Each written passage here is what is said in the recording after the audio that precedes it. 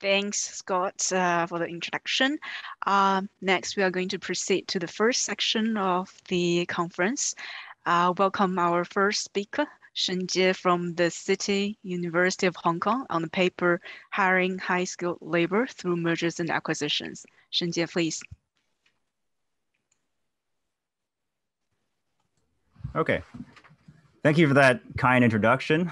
Uh, so this is joint work with Jun Chen from Renmin University of China and Feng Zhang from the University of Utah. So as you can see from the title of this paper, our primary research question is whether mergers and acquisitions can be driven by skilled labor demand. Uh, so we think this is an interesting question uh, because the answer has strategic implications in using mergers and acquisitions to overcome labor market frictions or shortages in the labor market for high skilled workers. And so this slide attempts to highlight some of those labor market frictions encountered by firms pursuing traditional hiring strategies, such as direct recruitment. For example, direct recruitment can be fairly costly if the labor market has severe information asymmetry, in which the employers may have to uh, exert tremendous amount of effort and time to validate and verify the quality of the workers. Um, second, direct recruitment may not be all that feasible. Uh, the reason is because the labor market could be extremely tight. Uh, this could be confounded and made worse if some employers engage in anti-competitive behavior, such as forcing their workers to uh, accept non-compete clauses in their employment contracts, which prevents workers from working for their competitors if they choose to leave the company. And lastly, direct recruitment typically doesn't allow the hiring of entire teams of workers. So what we do in this paper is we try to uh, talk about acquihiring or talent acquisition through M&As as a possible solution to overcome many of the shortcomings of traditional hiring strategies. In fact, acquihiring has been quite prevalent and common among tech companies, anecdotally. So this is a recent uh, acquisition or an acquisition by Facebook around 2012, in which Facebook acquired a startup company named Spool specifically for five employees. So if you read the last sentence of the last paragraph of this slide, you see that Facebook had no interest in the firm's technology, their service, or their user data. So in fact, their assets were not of particular interest to them. This action is actually quite consistent with what Mark Zuckerberg stated a few years ago, prior to 2012, that Facebook did not once buy a company for the company itself. They buy companies to get excellent people. And as you know, Mark Zuckerberg is the CEO and founder of Facebook. And this view is quite uh, common and shared among tech executives and founders, including Evan Spiegel from Snap, the founder and CEO of Snap, who also expressed similarly that typically if you buy a business, it comes with really talented team. And for them, at least, the team is usually everything. All right, so what we contribute to the M&A literature is systematic evidence on acquihiring, which has been traditionally very difficult to do uh, for several reasons. First, acquihire targets tend to be very small. And this is problematic because transaction, small transactions tend to be the details of small transactions tend to be unavailable or unobservable. Second, it's very difficult to distinguish acquihiring from other types of acquisitions because we don't observe the transfer of assets or talents from the acquired from the target to the acquirer. And lastly, even if we could observe the transfer of talents from the target to acquire, we don't know if these acquisitions are actually motivated by skilled labor demand. So we provide here in our paper causal evidence that skilled labor shortages induces acquisitions, and particularly acquisitions involving targets that have hired skilled workers in the past. We do this using two natural experiments involving the H-1B work visa program in the United States. So this program is ideal for two reasons. First, the program itself is designed for employers looking to hire high skilled foreign workers that are very difficult to replace with local labor in the US. These workers tend to work in the STEM fields. And second, the program itself provides exogenous variation in labor supply at the firm level, either through random allotment of visas at the firm level or through exogenous policy changes. So we can visualize these two settings using the following graph. So in this graph, the x-axis is time, and the y-axis is the total number of available uh, visa work visas available each year. So there's two things you should notice from this graph. The first is actually the first, uh, the discontinuity uh, around 2003 and 2004. So the overall supply was actually unexpectedly reduced from 195,000 to around 60 to 65,000 in 2004. So we're going to exploit this sudden drop in a difference in difference framework to compare M&A activity before and after 2004 between firms that uh, hired H-1B workers prior to 2004 and companies that have never hired H-1B workers at all. So the idea here is that firms that depend on H-1B workers will be exposed to a shortage around this time period. The second thing you should notice from this graph is the highlighted blue bars. So the, these the light blue bars. So these light blue bars indicate years in which the entire supply of H-1B work visas was rationed by lottery. So this only occurs if the entire, sorry, the aggregate demand for H-1B workers exceeds the aggregate supply within the first week in which H-1B applications were made available. So I'll come back to these settings again in, in greater detail in the subsequent slides so that we're on the same page. Okay, so our main data set comes from various sources, um, but the key independent variables within our natural experiments come from two data sources. The first is the labor condition applications data that we obtain from the US Department of Labor. This data provides us a measure of total demand for H-1B visas for, for at the firm level. The second main, the second key data set that we use is the processed I-129 petitions, which we obtain from the USCIS or the United States Citizenship and Immigration Services. This data provides us a measure of supply of H-1B visas allotted to firms. The other data sets are quite standard. We have SDC that gives us M&A transaction details, Patents View for patents data, and CRSP Compustat gives us financials and accounting data. All right, so this is summary stats, so I'll skip this for the sake of time. Um, so to reiterate again, our first natural experiment is going to exploit H-1B visa lotteries. These lotteries take place only in this case in which total aggregate demand exceeds aggregate supply. Take fiscal uh, within the first week in which applications are open. So take fiscal year 2009, we have petitions or applications accept started to be accepted starting on April 1st. But within the first week, USCIS received over 150,000 petitions. Because 150,000 exceeds the 85,000, the entire supply of work visas was therefore rationed by lottery. So in fact, these, this type of rationing or lotteries took place six times within our data set for 2008, 2009, and from 2014 to 2017. So we focus on these years within our empirical specification. Okay, so our, our uh, exogenous variation of labor supply at the firm level comes from, more precisely, the win rate. Okay, so the win rate is defined as the ratio between the total uh, H-1B visas allotted to the firm divided by the total number of H-1B visas demanded within a fiscal year. So we predict that a lower win rate or lower fraction of demand met for H-1B workers will lead to more acquisitions. All right, so before moving on, I want to kind of reiterate that we are not saying that acqui-hiring is the only option uh, to pursue in response to skilled labor shortages.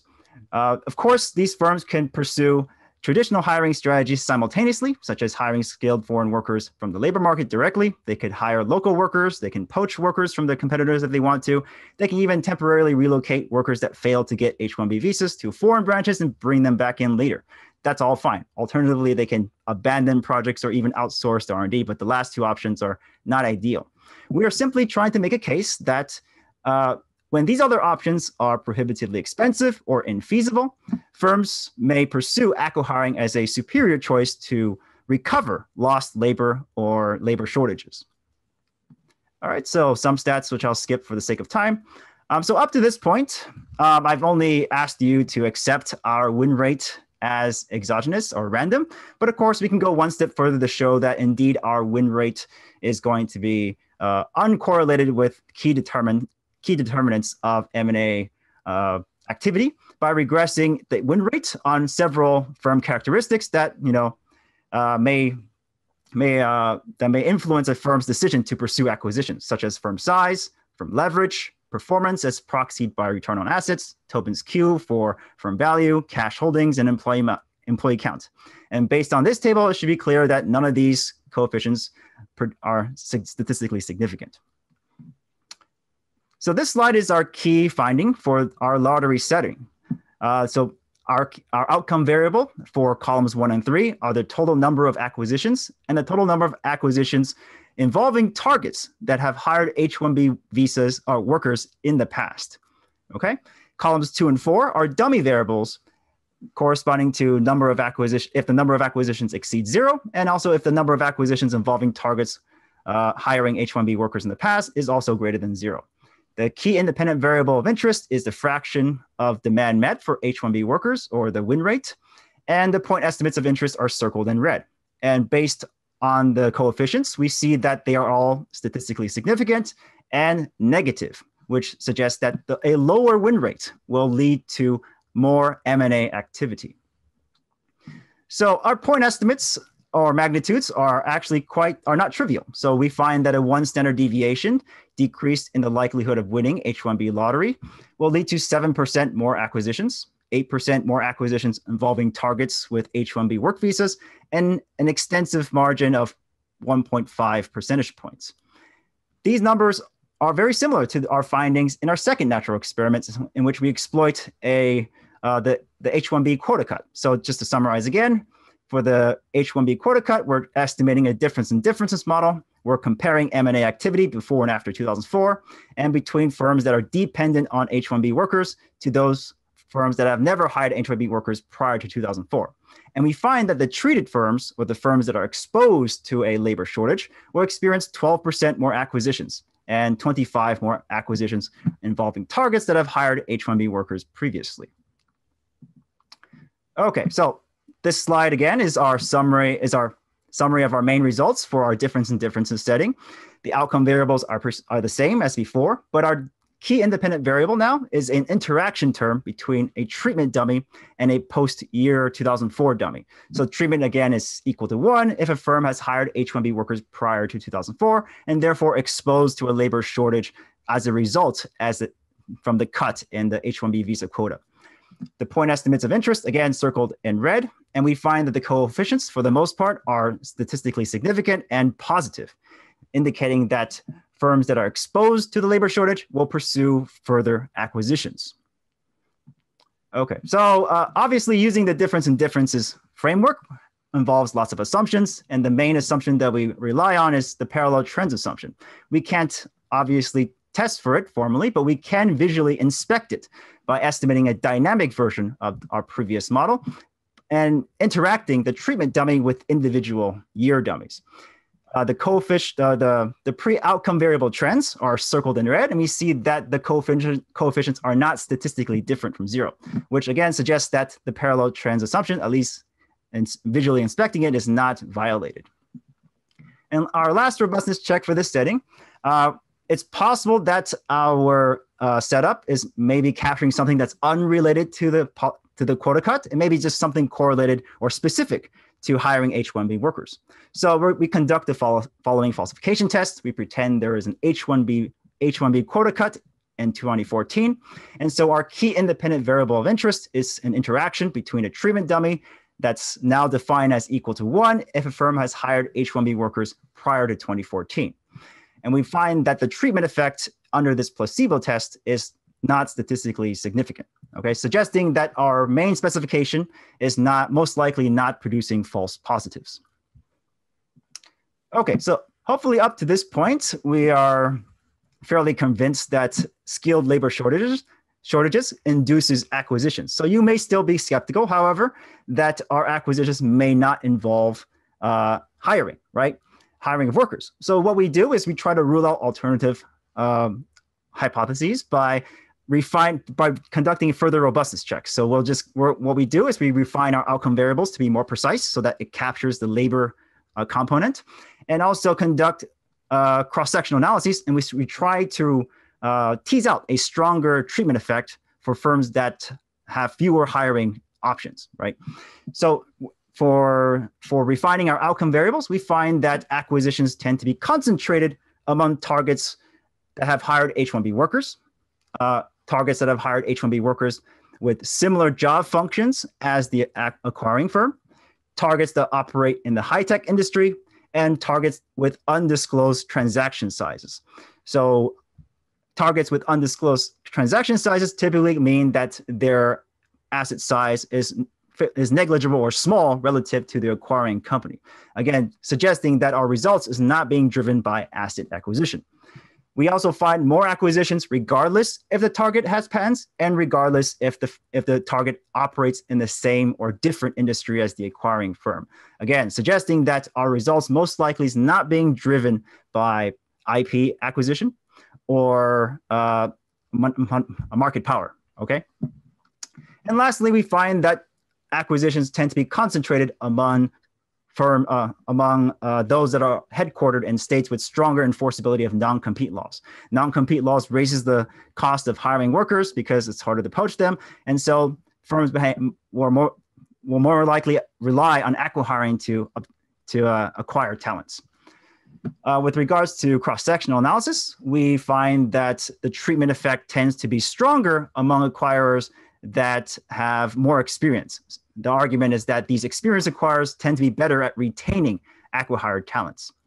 We also find that the treatment effect tends to be stronger among firms with lower foreign operations. So firms without uh, the ability to move workers around to, you know, so that they can bring them back later, will rely on acqui-hiring. In a separate test, we also find that skilled labor short, skilled labor shortages will lead to more uh, employee stock option grants. Uh, again, the idea here is that acqui-hiring does take place. There are talents being transferred, and the firm is actually incentivizing using long-term incentives to retain the talent that they acqui-hired. So overall, we find that our robustness checks suggest that indeed acquis- late talent acquisition is, is, is most likely being taking place. Okay, so after establishing this relationship between uh, skilled labor shortages and acquisitions and acqui-hiring, uh, the next natural question obviously should be, does acqui-hiring produce synergies? So this question is actually very difficult to answer and is actually quite controversial now because some, some scholars have suggested that uh, labor synergies don't actually materialize because many of these workers tend to exit or leave the acquiring firm shortly after being acqui-hired. Um, this is, a, of course, indeed a very challenging question, and it's because we don't observe the counterfactual in which the acquiring firm uh, completed deals actually uh, are, are, withdrawn, right? We don't observe that. Um, but we do our best to, high, to um, shed some light on this question by following the methodologies uh, available in the literature. So the two papers that we follow are Bena and Li, 2014, and Seru, 2014, who essentially estimate a matching difference in differences model by starting out with a set of completed uh, transactions, completed deals, and matching them with exogenously withdrawn deals uh, according to some criteria. So we follow the same criteria, but at the same time, we ensure the following. We make sure that the treated and matched control deals, uh, the acquirers of the two deals have the same four digit NAICS industry, or in other words, they operate in the same industry. The targets, the same thing, also operate in the same industry. And we also ensure that the announcement of the, the completed deal and the match deal, matched withdrawn deal, uh, are announced relatively close to each other. And if there are multiple matches, we kind of we kind of uh, we only keep the deal in which uh, that have the closest relative transaction size.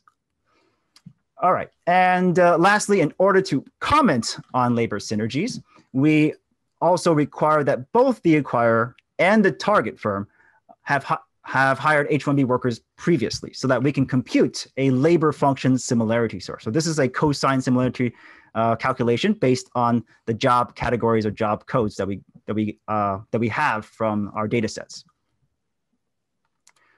All right, so this is our main results for uh, the matched matching difference in differences model.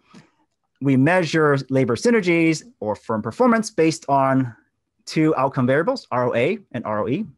And the key independent variables here uh, is an interaction term between treatment and post. Treatment equals one for completed acquisitions and post equals one for uh, years after the acquisition.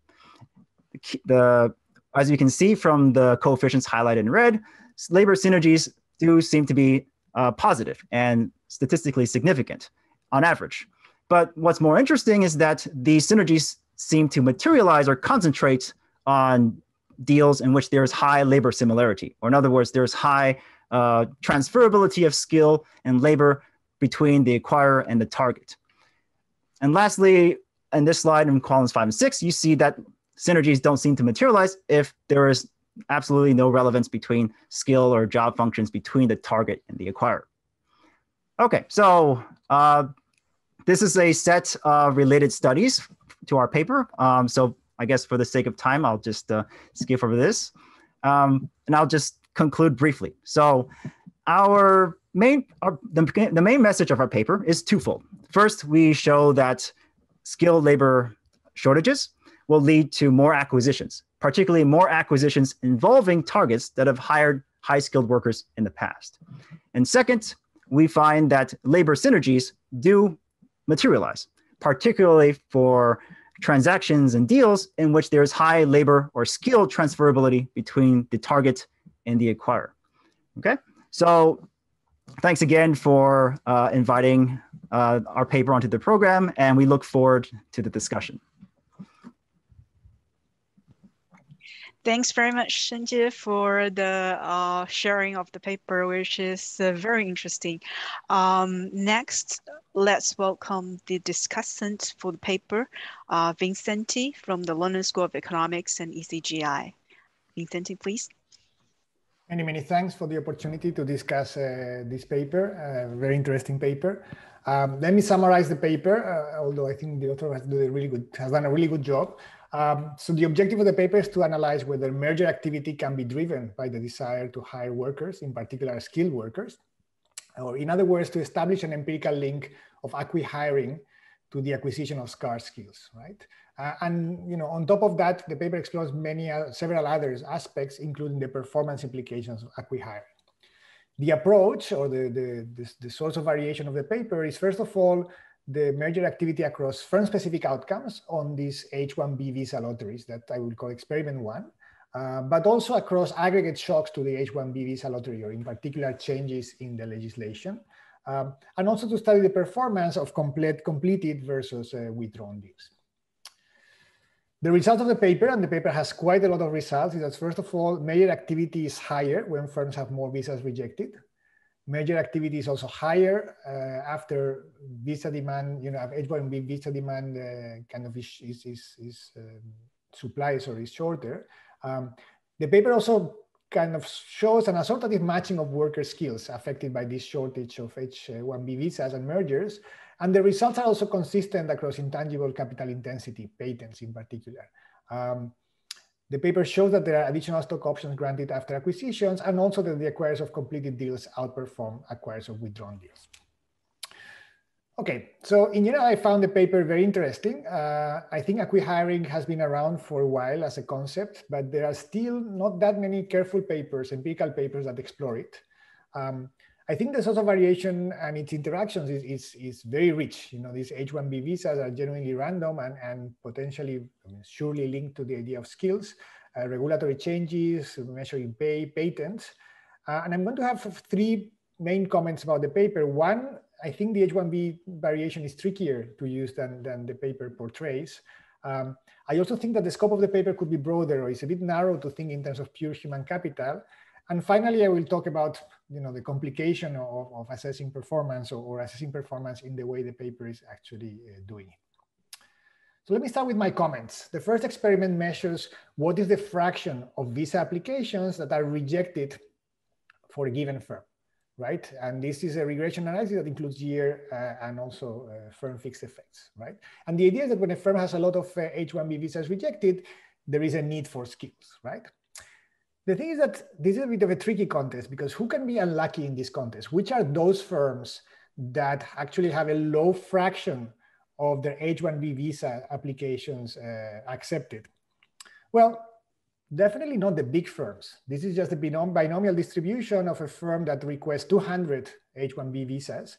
And you can see, you know, this is the 50-50 chance of getting the visa, which is common in many of the years, that this is a fairly narrow, you know, 20 kind of people interval, okay? So it's fairly safe for a, for a large firm to kind of understand what is the fraction of workers that you're going to get uh, you know, from, from this uh, visa request, absent ag aggregate kind of uncertainty, which in a way the paper is uh, kind of neutralizing with year fixed effects. So this is not something that is identifying the results, okay?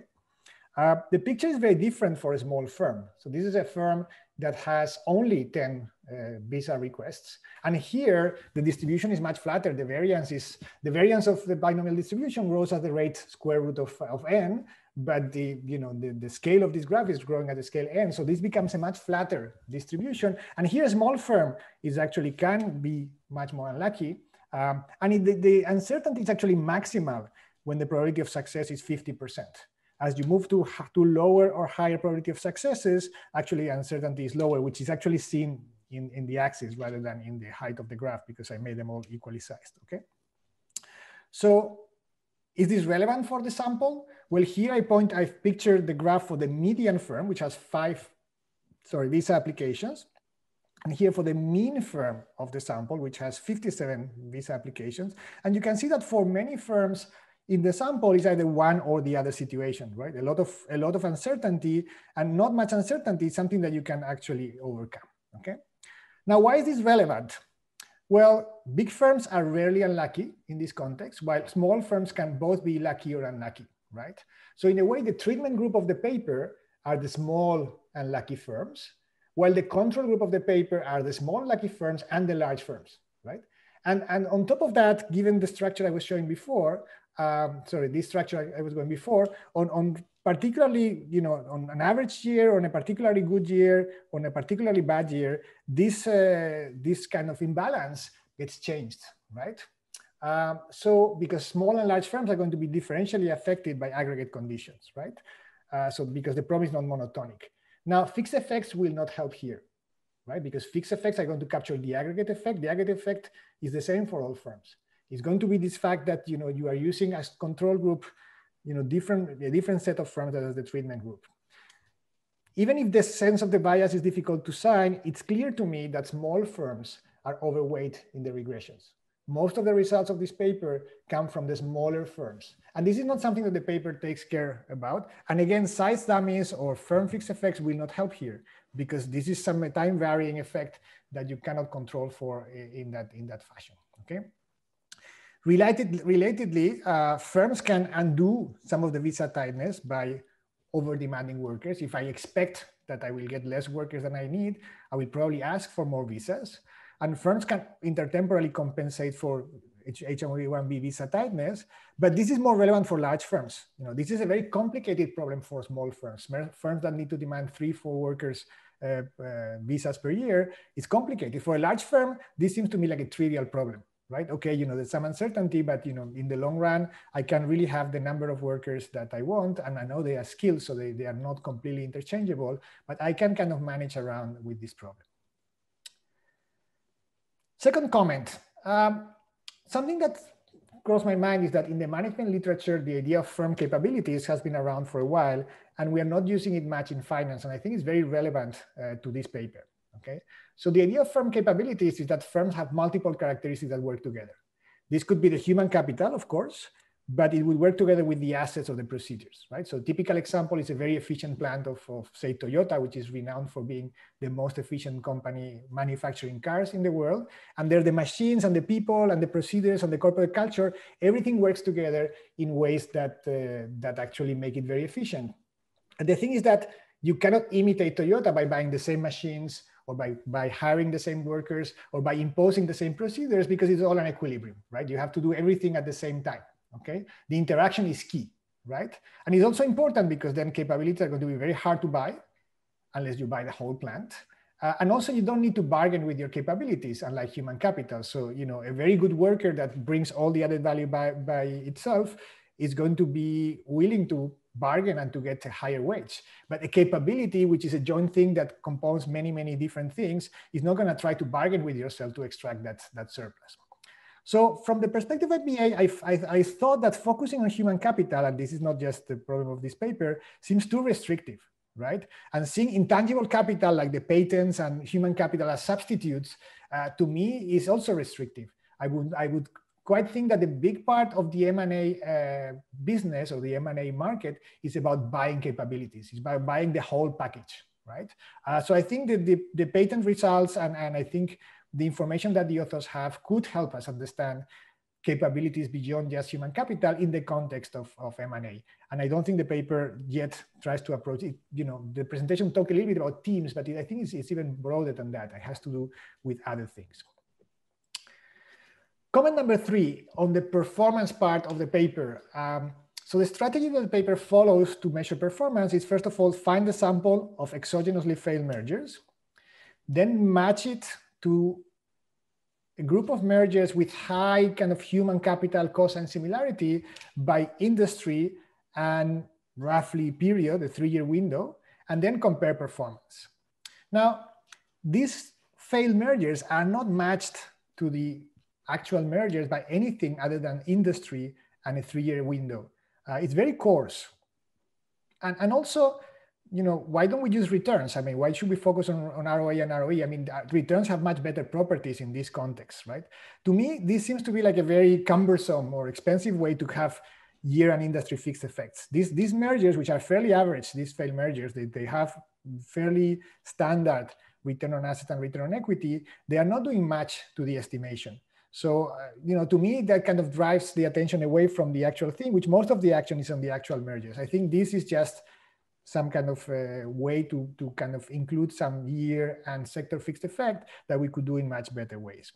A couple of words of cautions. Return on equity is affected by leverage and mergers tend to change leverage. And return on assets is affected by things like the step up and the goodwill created in M&As. Uh, and again, these are things that uh, we know we have to take care of when we look at mergers. So they are particularly not great measures to look uh, to use for performance uh, once we focus on mergers, nor is, by the way, Tobin's Q, because it changes both the numerator and denominator in, in different ways. Other comments, the paper uses option grants and has an interesting results uh, in it. But I thought that option grants were quite negligible these days. I think it's all about performance vesting stock. So it's somehow, you know, probably they are correlated with the real thing, but they are not the real thing. So, so why can't we look at something that is more, more relevant? Um, and also in terms of assortative matching, the paper says that the paper states that firms with more H-1B visas tend to acquire firms with more H-1B visas. And it kind of hints that it's because they need them but it could be many things. Could be that they have similar technology, could be that they operate in similar regions, etc., etc. So summing up, I think the paper covers a very important topic. Uh, it has lots of empirical, relevant empirical evidence.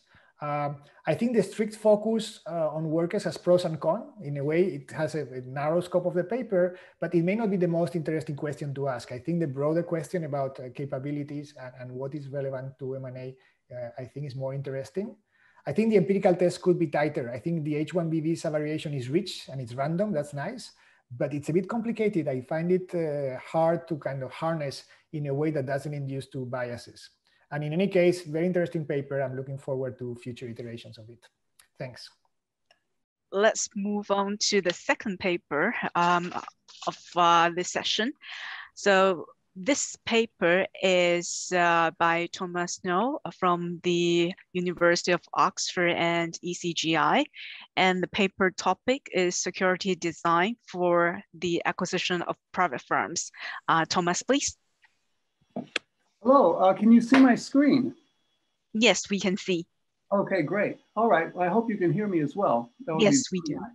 Yes, we do, very clearly.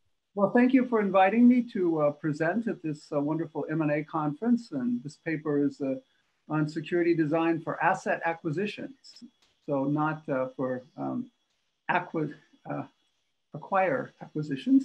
Uh, it's, it's with another person from the University of Utah, the second one in our session, Mark Jansen, and myself and Ludo Phalippou. So this paper is on a very interesting topic, one I knew absolutely nothing about, but it's essentially a huge, uh, hugely important financial security, which seems to have been uh, uh, pra pra practically unnoticed by the finance uh, profession, and that is seller debt. And so what we're going to do is describe it very briefly, and then we're going to develop what we, what we think is a good theoretical rationale for firms using seller debt in, uh, in when uh, acquiring private firms or subsidiaries of public firms. So let's start out with this amazing security. Okay, what is it? It's um, issued by acquirers uh, to finance acquisitions, which is uh, probably uh, what you would uh, think, um, given, given, the top, given the focus of this conference. It's um, the interesting thing is it's secured only by the cash flows from the acquired asset. Uh, and uh, the and it is a risky security. It's issued to the seller of the asset, a non-recourse security in the form of debt, uh, usually risky because both of because of subordination and also because it's not secured by the acquirer's other assets. This is sort of an interesting security. It's quite prevalent as well. About 50% of US acquisitions of private firms are partially financed with seller debt. And it's also prevalent in acquisitions of public of the of subsidiaries of public firms. And one might say, well, so what? This is just the private acquisition market. Well, the acquisition market for private firms and subs of public firms is actually larger than the public firm acquisition market. So this is a big market, a very prevalent security with very kind of interesting features. So our idea is to try to, you know, the, it's, it's, logical to think, well, maybe we want to explain why firms use uh, this sort of security. So as I said, it's a dominant form of financing for private firm acquisitions. So seller debt in private acquisitions, you might say has a similar role to corporate debt in corporate investment. So, you know, it's the go-to um, source of, of, financing or a go-to force of uh, a, a go-to source of financing. So the question, why acquirers issue seller debt, seems to us to be an important question that we are going to try to answer. Well, the first thing you might say is that, look, there's so many theories in the world. You, there's probably one you can find that will answer the question. So why did you come up with a theory model? Okay, there are, there's a, there is a huge body of research on security choice. Um, there's a bunch of security design models. Uh, there are also um, uh, M&A models that talk about security choice. Uh, there's uh, more niche security design models like for auctions. But as we argue more, more in the paper than I'm going to do right now, none of these models rationalize all the features of seller debt. The fact it's a debt claim, the fact it's risky, the fact it's secured only by the acquired assets. And of course, issued to the target because by definition, it is a seller debt. Okay, so we decided to tell our own story and I'm gonna summarize the story briefly here uh, that uh, we are telling. Um, um, our story is you have an acquirer who has a slightly or more moderate or, or, or, or slightly or more moderately confident about the value add plan that the acquirer plans to implement than the seller. As we'll say later, he can't be too much, too over, too, too, he can't have too much excess confidence. And we have a seller that has private information about the compatibility of target assets with the value add plan. Then a distributional, a mathematical assumption, uh, but one that's satisfied by most textbook parametric distributions. And if we put those ingredients together, we get the result that the optimal form of financing to use in, in the, in the, in the, in, uh, in asset acquisitions is seller debt financing. So probably you don't believe me yet, so I better explain more about the paper. Okay, so more specifically, we have a model where you have an acquirer who has a value add plan. Uh, but the plan will only work if he acquires assets that are compatible with the plan. So just, you know, you can think of an example is uh, our acquirer wants to buy a small biotech that has a new COVID test. the acquire the, uh, the value add plan is to market and flog this uh, COVID test all around the world. But our small firm has private information that's very relevant to whether or not the plan will work. So my example, our small firm knows whether the efficacy of this test is genuine or whether they've actually faked all the results. That would make the asset incompatible with the value add plan. So this is the this is essentially the, uh, the basic structure of the model. Uh, what do we mean by compatible? If the, uh, the, the, the, if assets are compatible, both the buyer and seller agree the acquisition will add value. The acquirer thinks it will add more value uh, than the seller thinks. So this is kind this is consistent with one of the three definitions of overconfidence used in psychology, which are actually almost unrelated to each other, which is why, why using the word overconfidence is a bit ambiguous uh, which is a domain specific overrating of your own ability relative to others' ratings. So this is again, it is typically overconfidence is domain specific. So boxers may feel that they're you know better in the ring, uh, you know more likely to win a boxing match. But if you ask, well, would, I, would you be able to do a crossword puzzle better than your rival? They might not really be sure. Um, it's also consistent with some empirical evidence on overconfidence in acquiring firm behavior, where in this paper, they did use the definition we use. Okay. Uh, if the asset's incompatible, things are extremely boring. Uh, the value is common knowledge. It's not affected by the acquisition, and it's less than the value of compatible assets, regardless of whether the asset is under uh, acquirer or seller control. So even if the asset does not change hands, it is worth less than the value of the compatible asset if it does not change hands. Okay, offers, the structure of the, of the, the, the, mechanism for acquisition we use in the baseline model is the simple first and final offer uh, to the target. And the offer is gonna consist of two things, cash and a seller security. This security could be just about anything that standard that satisfies the standard uh, security design assumptions you know, cash, equity, convertible. And in our model, the acquirer is not cash constrained, although that doesn't make too much difference. Uh, if, if, if we made them cash constrained, they'd kind of be forced to use the security, uh, and uh, we don't do that. All right, so we find that uh, the offers, you're either gonna make what's called, we call pooling or separating offer. Uh, pooling offer is one that the acquirer is going, the target will accept regardless of whether it's compatible. And these offers will always be all cash. And uh, the uh, such offers will always generate losses for acquirers if they acquire the asset when it's incompatible, because they'll have to pay the compatible price to get the incompatible asset. But our acquirers, because of confidence, actually think that whenever they issue any securities to the uh, seller, they're actually, it's a losing proposition because they think the, the acquired asset is worth more. So um, if the acquirer is very confident, um, he'll prefer an all, actually prefer an all cash pooling offer. If he's extremely confident, if he thinks you know things are vastly better than the uh, than the uh, uh, target does. Uh, uh, and so uh, separating offers are different. They're a mix of cash and seller securities. And thus the offer value depends on the seller's private information. But the question is, how much does it depend on the seller's private information? And that will be determined by the security issued uh, by the acquirer. And that's the, I guess, uh, one of the key points in the paper. So there's a very basic tension in our model. And uh, the root of the tension is this. Because our acquirer is more confident, the cash flows to the asset conditioned on the acquirer's acquirer getting control and the and the and the and the and the, and the uh, uh, assets being compatible uh, maximum likelihood ratio dominate the cash flows that the uh, seller expects if the acquirer takes control and the assets are compatible. Okay. Um, because of seller private information, though, the seller's cash flows when the asset is compatible, his estimate of the cash flow, monotone likelihood ratio dominates the seller's own estimate uh, when the assets are incompatible. So he thinks compatible assets are better than incompatible assets, but not as good as the buyer thinks they are.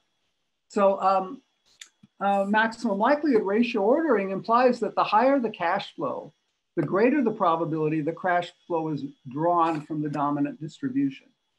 So what does this have to do with anything?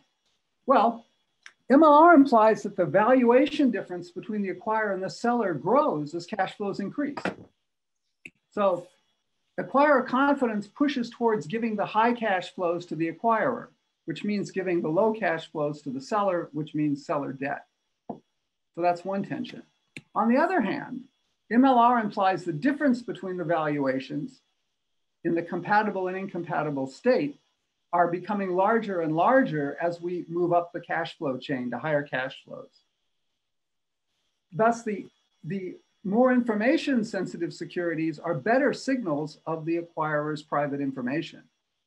So information asymmetry pushes in the opposite direction, away from seller debt, right? It's not as good of a signal of the private information of the target. So the question is, how does the tension get resolved? Okay, well, our way of looking at it is this. This is sort of an intuitive explanation because I don't have two hours to, you know, go through, a, a, you know, to do, do a, a, a university seminar presentation. But I think it captures everything. If you think of a value add plan, it can make the world a better place in two ways. It can either increase the probability of a high cash flow, or it can reduce the probability of a low cash flow. Both things would make, make, make, make the parties happy. These effects can vary. And uh, the effects can also vary with whether you're talking about acquirer confidence or information asymmetry. So in a very simple setting, which is a little simpler than the actual paper, I have an example which shows you exactly what we're talking about. Here's the simple setting. Suppose we just have three cash flows, zero, one, and two. Uh, what we want to do is we want to we we, uh, we, we we compare seller debt with retained equity. So we solve the model numerically for two different cash flow distributions. The first one produces optim the optimality of seller debt. The second and the second one retained equity does better. It's fairly easy, I think, to understand the forces in this framework. Okay, they're very transparent. Okay, so let's. This is the first distribution. Here the seller and the, the beliefs of the seller and the acquirer across the three states. Uh, uh so sorry, across, across the three cash flows. There's two states, compatible and incompatible. Okay, so we want to compare the, the upside and downside effects of both confidence and asymmetric information. So let's do that. So if we look at the downside, how would we measure the downside of, you know, the, uh, the uh, uh, uh downside degree of confidence? Well, we would take the acquirer's probability for the low state and look at the, its difference with the uh, seller's probability of the low state. The acquirers must be lower because of MLR orderings. Um, and then if we want to measure the effect of information asymmetry, we would compare the assignment of the, of, of the probability of, of the low cash flow state by the seller when the seller has private information indicating compatibility and when the seller has private information indicating incompatibility. And so if we do that, if we look at both these differences, the difference between this uh, number and this number and this number and this number, we get a measure of the acquire confidence effect and the asymmetric information effect. And then if we divide, you know, we divide one by two, we get this ratio, which is one quarter. If we do the same exercise for the upside, that is the the increase in the probability of a high cash flow, not the decrease in the probability of a low cash flow. We get, uh, we get that we uh, perform this, this, the same calculations, measuring acquirer confidence by comparing these two numbers and measuring asymmetric information by comparing these two. Uh, we get another, another ratio. And we notice that the upside effect in this example is much greater than the downside effect. The upside effect of acquire confidence is bigger than the downside effect once you've relativized by asymmetric information. All right, so if we take another example, this is one where our result does not hold. This is where retained equity dominates. We get, this is a, a cash flow distribution. And you notice in this case, what's going on is, thank you. Uh, what's going on is the acquirer basically thinks that the big effect of the acquisition is not to create high cash flows. What he's confident about is that because of the acquisition, we won't get a low cash flow. So he's, he's confident, but kind of not in the similar, we generally think of confident people as dreamers. This fellow is not a dreamer. So if I do the same calculation here, things reverse. The downside effect of asymmetric information relative to adverse selection is actually bigger than the upside effect. So I'm going a bit fast, but I'm just summarizing what we found out. Um, what's the only observation that's important here is that these conditions have nothing to do with size. It doesn't matter which effect is bigger. It's all where the effect occurs, upside versus downside. It's all, it's all relativized. Okay. What, so basically, the most intuitive way to put this is in our world, the seller's information is mostly about whether the acquisition will flop, while the acquirer's information is mostly about whether the acquisition will pop. Okay, we can't quite uh, use this criteria though in our formal analysis because we have continuous distributions, but we have an analog of it that does the same thing uh, called the tail ratio condition. And we that's our assumption four. And this basically at an intuitive level does the same thing as the upside downside ratio. When that's uh, the, the tail ratio we think is very intuitive because we kind of would, that's what we kind of think of as overconfidence. It's dreaming of the high side, not saying I'm overconfident that really bad things won't happen. Also, uh, it's the seller's information about compatibility. So you would think it would be about low cash flows and their likelihood, not about extremely high cash flows. Okay, it's also satisfied by almost all uh, textbook distributions that, that I've uh, been able to look at. I have formal proofs for almost all of them, and one I can't, but I can't find a numerical counterexample.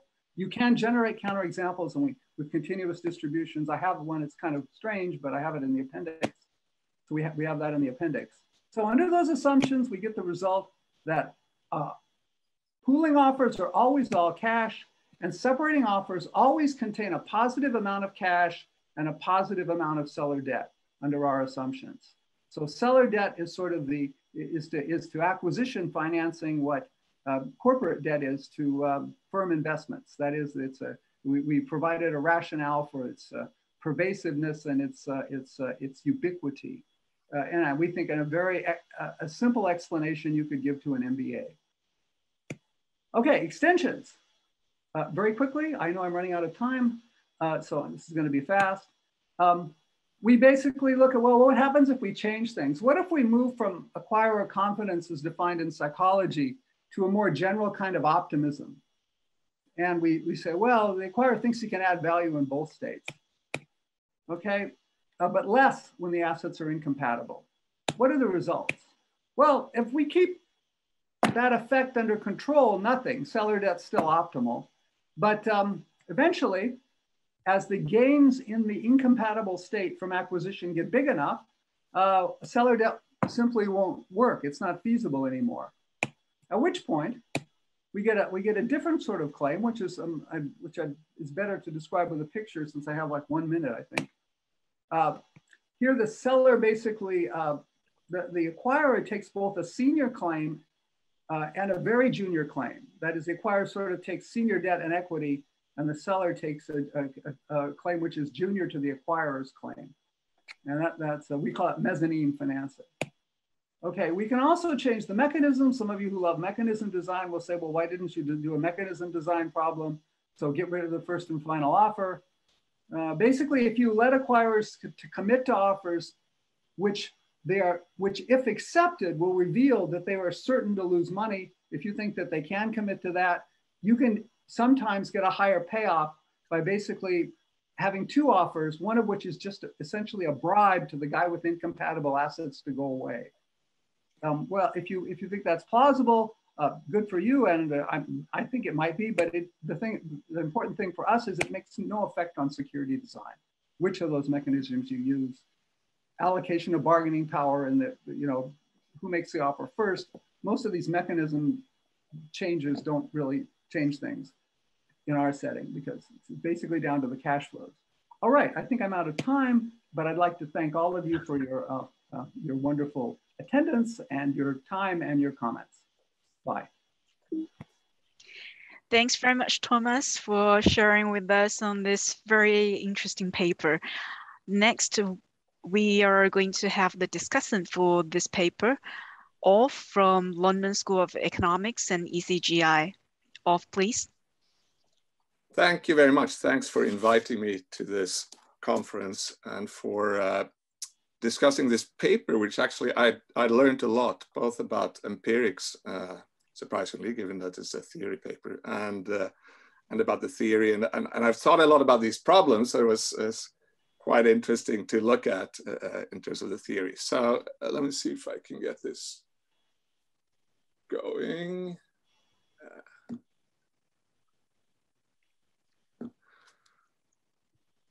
So, um, so, so actually, when I started reading this paper, I was baffled by the statement in the beginning that there's so many of the of M&A activity where payments are made partly with cash and partly with debt, right? Um, because I didn't actually know that. Um, there's a reason I didn't know that because most of the data we've looked at are, you know, public M&As or private equity things like that. Turns out when you go to the smaller universe of firms like private acquisitions, um, especially between kind of like an owner manager that has a smaller firm and wants to retire and then sells his firm on to maybe a new owner manager. It's, it's very common that payments are made in a combination of uh, cash and debt, meaning that the seller also extends some financing. And this is a graph from one of the co-authors of Tom, uh, Mark Jansen from 2020, where I looked back at and saw that this is like 50% uh, of all acquisitions, this happens. Um, so that I thought was really interesting is like a big set of transactions and something that I don't think people have looked at that much. So it's really an interesting thing to look at um, and test our theories on properly. Uh, so, so what is the question then based on, on this, at least to me, kind of new big facts out there that, that this paper is motivated by? So what is it that they're trying to, they think need explaining here? So what they're trying to explain is why sellers of a firm um, would accept as a package of payment cash and debt. Okay, they're not trying to explain why sellers in um, M&A transactions sometimes get paid in some type of security because that happens all the time in public M&As. Like you, you have cash payments, uh, sorry, cash or equity or a combination of cash and equity typically in, in public uh, M&As. Um, but it's not very common with this cash and debt as a payment. So that's what they're trying to explain here, that exact combination. Um, why is that potentially challenging? Well, I think they, they're putting the bar high here in the paper because they're also saying, and I think this is kind of based on some empirical observations here. They're saying it's also not about some small, you know, entrepreneurs that are buying a new firm being financially constrained, um, because it does happen also. Sometimes public firms buying private firms that, that use these payment methods. So it's not about financial constraints. Um, and then it's even more difficult to explain this. If, if the buyers are unconstrained, why would we think the seller should um, be financing part of this, this acquisition?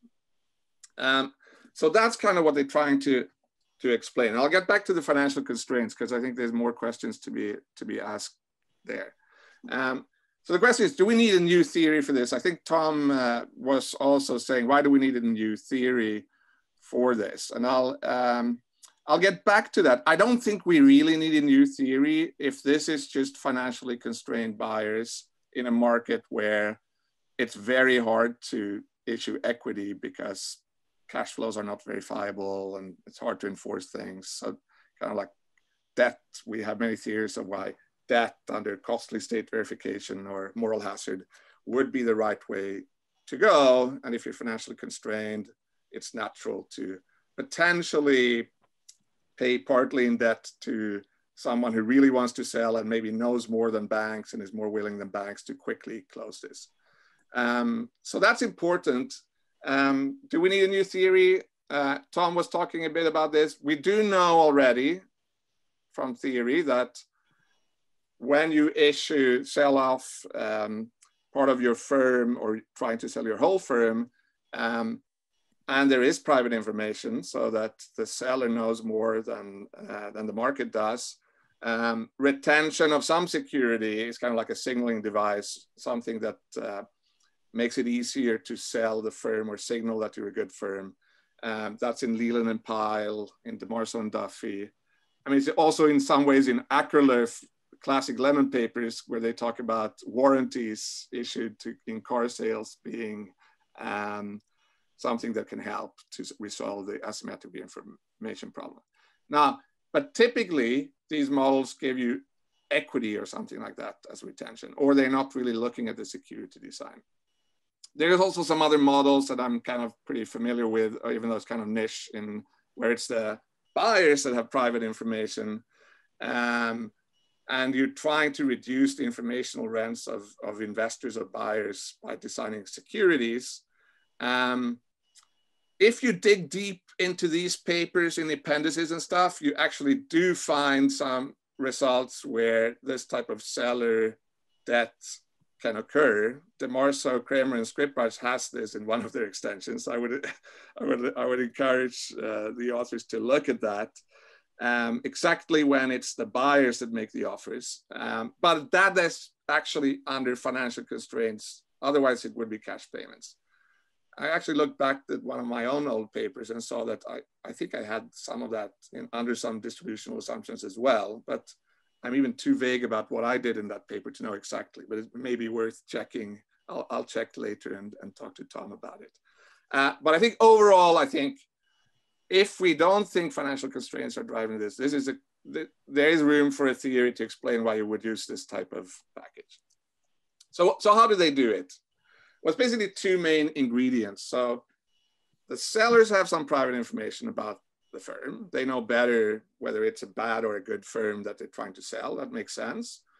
Um, on top of that, the buyers can add more value if it's a good firm. That's kind of what a good firm means. It, it means both that you can add more value, but also that it's a good firm if the seller keeps it. So the seller has a higher kind of outside option or retention value. But the gains from trade are higher also because someone else could take this pretty good firm and make it even much better uh, by running it um, under this new ownership. Um, so you have those two ingredients. Now, what, what that gives you that you want to retain, that it's helpful to for a buyer to not just give a cash offer okay? Because any cash offer that a seller of a good firm would accept um, would obviously be accepted by a seller of a bad firm as well, because their outside option is worse. Um, but then you end up overpaying for that uh, transaction for a firm that where you can't really add much value anyway. Okay, so that's costly um, overpay for the worst firms if you want to pay enough to, to buy the the good firms. So the solution is to retain, to actually say the seller keeps some stake in this firm, uh, meaning we pay maybe some cash, but also we say you're also going to get like either some equity or some debt um, and get paid later on as cash flows arise. Um, and of course, those securities are going to be worth more to a good seller than a bad seller because they think the cash flows are going to be higher than bad sellers think. So it's easier if you pay enough for a good firm to actually accept that package. Um, the bad firm might accept it, but they are not going to get as much as if they just got cash, okay? Because they are not really believing in this firm so much. So that, that obviously gives you some reason for why you want to split this up into a cash payment and a contingent payment. But it doesn't explain why it should be debt, okay? So that's where you have to do more work. Um, so how do you explain that this payment should be in the form of debt and not in the form of some fraction of the equity that the seller kind of retains. So they have to work more to get this. And the way they do it is they say, well, we're also going to assume that buyers are more optimistic about this value added. So you have basically, it's kind of like a behavioral, psychological friction, if you want. Um, so it's nothing about private information, it's common knowledge, and they agree to disagree. We actually know there's a few, there are a few papers that say that when you have those situations, for example, entrepreneurs that raise money to start and they're overconfident, you would naturally have debt as the right security because um, the entrepreneur values the equity proportionately higher than some outside financer who, who is more skeptical. So it's better that the entrepreneur takes the upside and the and uh, the financier takes the takes the debt. Um, so what they show then is that given this retained stake, you need to put in there to screen out some bad firms or at least not overpay for them. Under some conditions, debt turns out to be the cheapest means of payment for the buyer. Okay. Now it's not as simple as just putting these two results. We kind of know that retention is good uh, when you have information adverse selection problems, and debt is good when we have overconfidence. Uh, because there is some some tension here that's quite subtle actually that took me a while to figure out. So um, when you issue when you pay with debt, so the seller takes on debt, um, that's actually a less powerful screening device, right? Because it's less information sensitive.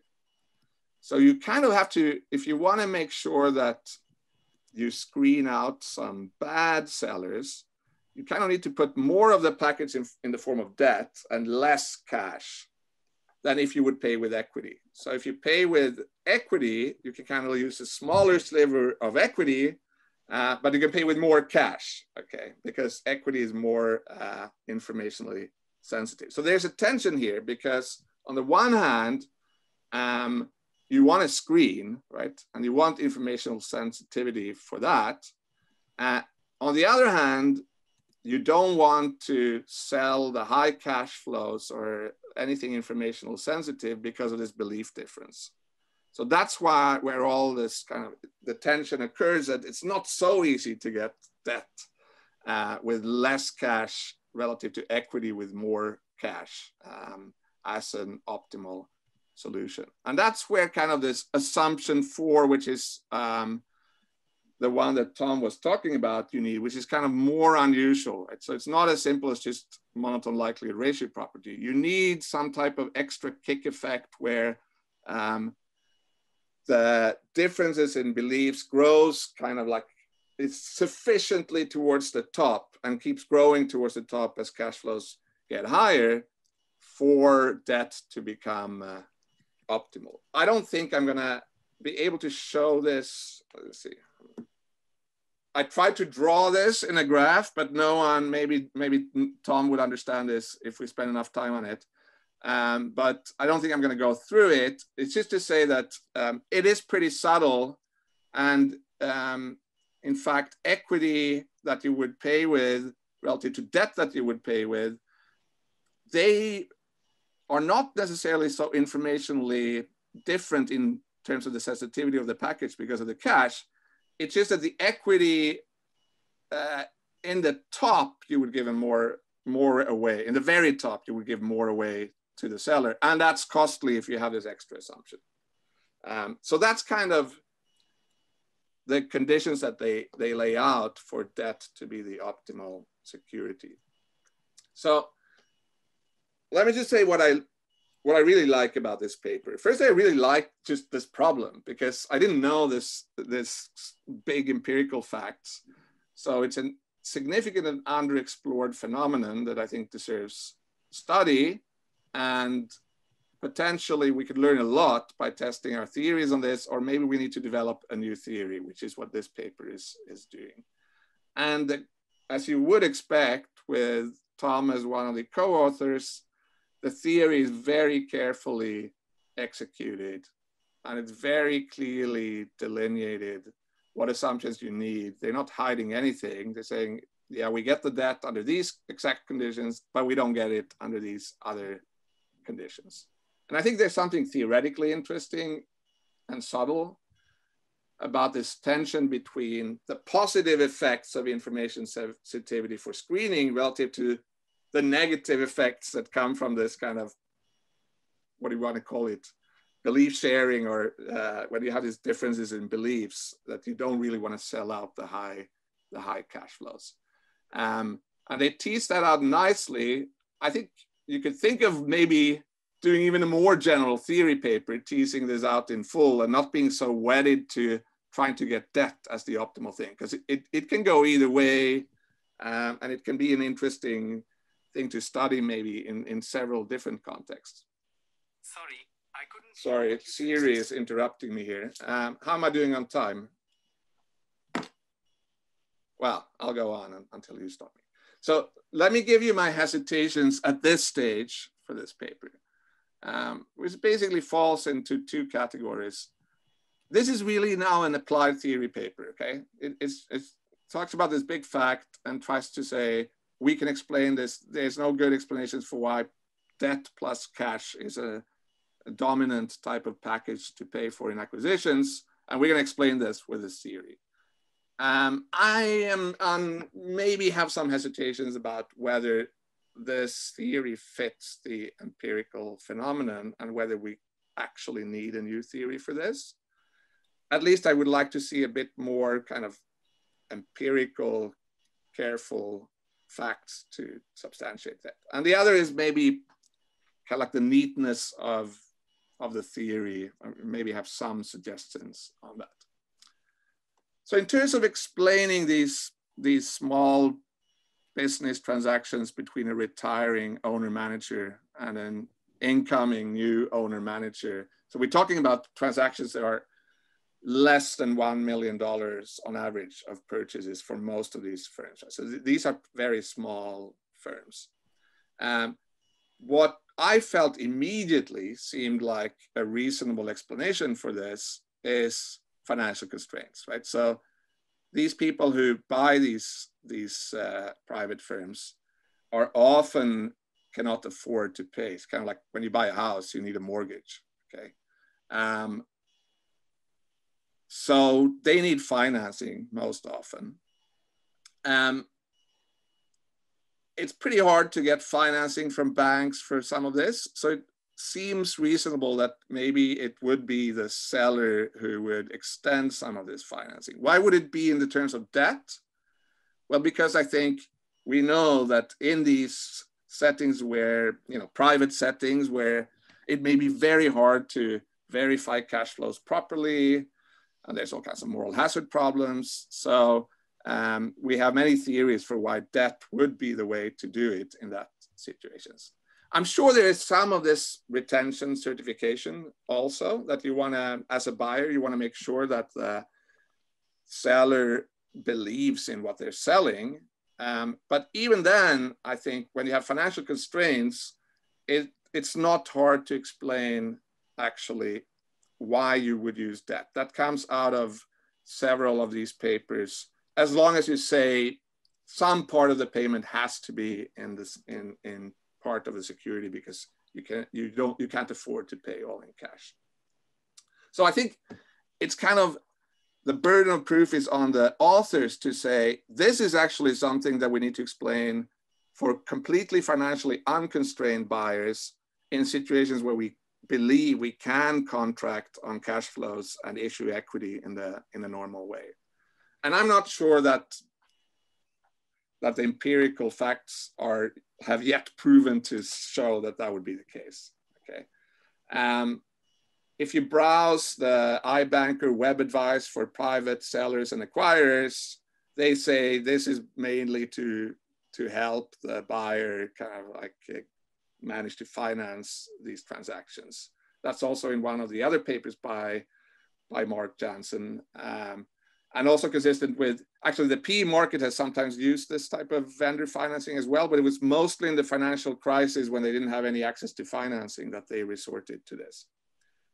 I also have to say, the whole paper, if you read it, uses as a leading example in the introduction this transaction where um, a Nasdaq listed firm, Amri, purchases a private firm, Euticals, from uh, LCS, who was a seller, using um, partly seller debt as, as a payment package of 55 million. That turns out to be quite a bad example for the paper because if you dig into this one, and I think that could be more generally true for these public firms, it turns out that they also paid um, 100 million to the buyers using levered equity. So it's really not a cash plus debt transaction. It's more a cash plus equity if you put these things together. So that doesn't fit the paper at all. The other thing is that this Amri, even though it's a listed company, actually was severely financially constrained. And um, so they definitely had problems financing takeovers that they did, and so much problems that they actually had to be bought out and saved later on in a in a buyout. So it's just that example doesn't fit, but I think more generally, we need to look into whether there are actually a, a significant number of transactions uh, by non-financially constrained buyers um, where equity is enforceable. Otherwise, it seems like we can explain this with the with the theories the theories we have. Um, so that that's one of my the things I really want to know more about. Also, just in terms of the theory, maybe I think maybe as a general theory, you can think more about this and do something really interesting with this tension. For this applied theory, maybe uh, my the aesthetics of trying to explain kind of these two phenomena, which is some of the payment is, is through retained stakes and it turns out to be debt using two kind of orthogonal frictions. Uh, maybe it's not the most elegant thing in a theory paper, right? It feels a little bit like shoehorning. Like if you want to be facetious, and I don't really, I mean, you could get this criticism that a mean reader or a sloppy reader might say that, yeah, we know that stuff can should be retained if we have information problems and sellers, uh, there's adverse selection problem uh, at the sell side. And we know that with overconfidence, we get debt from other papers. So is it really that surprising that um, retention with some debt uh, happens when you put these two things, two things together? Um, I think the other thing is like the authors have to work really hard to get the result because of the tension that uh, that Tom was talking about and I also tried to talk about. That actually, once you have the belief difference, you need a specific interaction between seller information and value add, and this assumption four with the relative overconfidence growing sufficiently with cash flows to to get that. I mean, it's not something that falls out completely naturally. So it feels maybe slightly uh, much for, for, for an applied paper explaining this phenomenon. And I was also wondering, and this is my last thought that I haven't, I haven't solved this properly. My suggestion would be to at least check if you really need this overconfidence uh, extra ingredient in this uh, uh to get the debt uh, and cash package. So one simplification that the paper does is they only look at two firms, one minute, okay? Um, a good firm that you wanna buy and a bad firm that you don't wanna buy, okay? Um, so you always wanna actually give an offer that exactly matches the reservation value or outside option of the good firm uh, and hoping and, and, making sure that the bad firm doesn't take it through this sensitivity. I have a feeling that if you generalized on the dimension of having a continuum of types, meaning there are um, intermediate firms, everything from bad to good on some continuum, okay, it may be that actually you get that even without um, this overconfidence. Uh, I'm not sure, but the reason I think that is because if you want to give an offer and there are many types, okay, you have to think about the marginal type that's going to accept your offer. Okay, so you would like to say only good enough types are going to affect this offer, uh, uh, accept this offer. So we're going to make it sufficiently contingent on the performance of the firm to make sure only the sellers who believe in the firm enough are going to sell to us. Okay, so there's some middle point of set of types that you can match their reservation value. And you have to make it information sensitive enough such that the ones below don't take it. But when you have that, you also have these inframarginal types. So the better firms, right?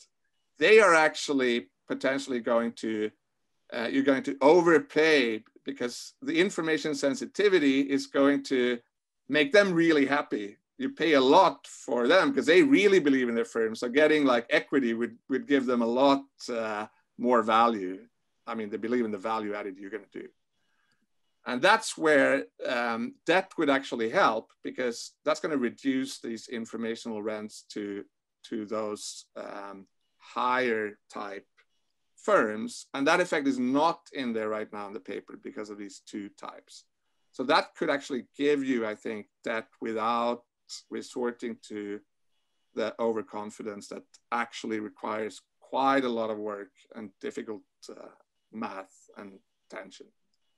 So that's just one suggestion to something to pursue. I'm out of time. Thank you very much.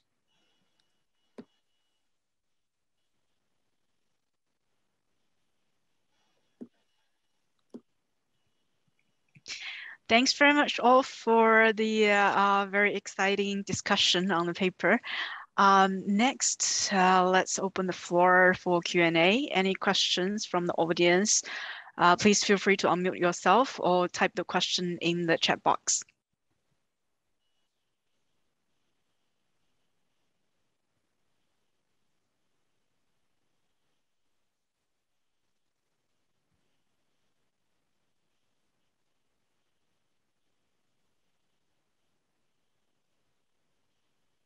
Any questions, please?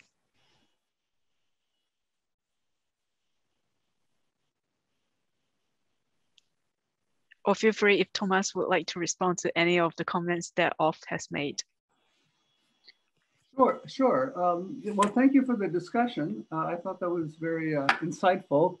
Um, the uh, the especially the comment about uh, the what we, one could talk, one could give more intuition for this result in terms of the trade-off between the size of the debt claim and the size of the alternative informationally sensitive claim. That essentially you're preferring a, a, a large informationally insensitive claim to screen to a small informationally sensitive uh, claim.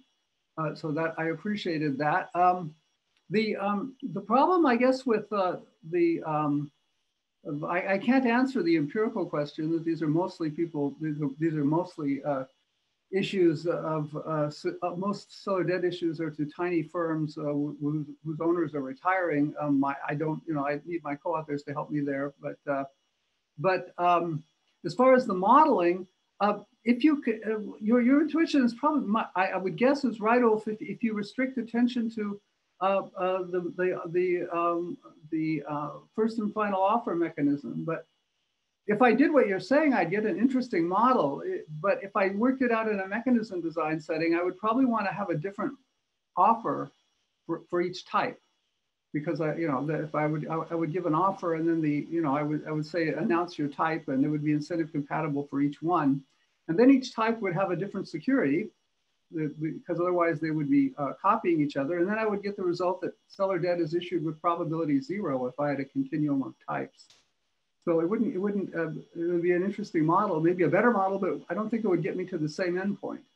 Yeah, actually, I, I, I, would be happy to discuss that offline because I tried to do that thing, and I think you it may be something interesting that would come out. If, and I think you could do it because I think uh, even with that mechanism thing, I think you would hit an endpoint where it becomes just that. But uh, but uh, but we could discuss it offline. Okay, and then and then the, and and, uh, and the other um, uh, comment that was uh, interesting is um, I agree you have to add this extra condition but the reason I kind of like the model is it's, a, it's extremely intuitive condition.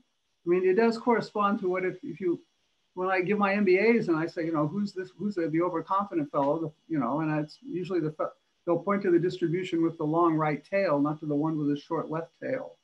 So it, seems like a, it seems like a, agreed it's a, a combination of conditions, but uh, it seems like a very intuitive combination of conditions. You know, you would expect sellers to know about skeletons in their closet and buyers to be just a little bit overconfident.